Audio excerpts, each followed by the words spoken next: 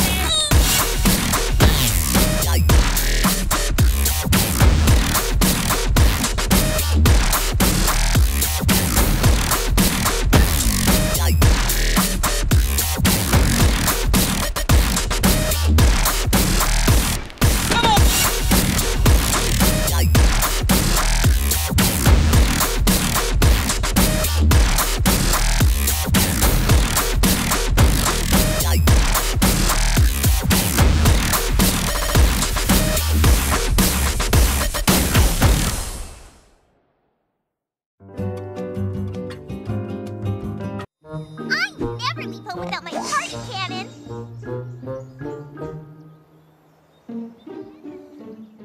Please tell me I did not forget the plates.